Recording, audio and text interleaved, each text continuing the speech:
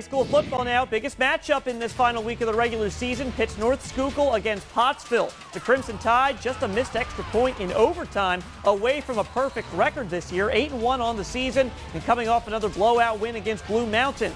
Against the Spartans, the Division One title of the Schuylkill League is at stake, along with playoff seedings for both teams.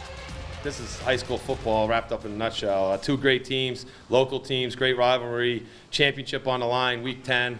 I mean, the only thing that might make it better is if it was snowing out a little bit or something. But uh, it, it, it's it's a great game. It's going to be great field conditions. They on their brand new turf in their stadium. I mean, there's going to be no excuses. Uh, you know, hopefully it's an injury-free game and both teams can come out feeling pretty good about themselves. In eighth grade, we played these guys last game and lost, so we've been waiting for this game for five years now. We're ready to go. So maybe a little extra motivation for the Tide. We'll hear from the Spartans later this week.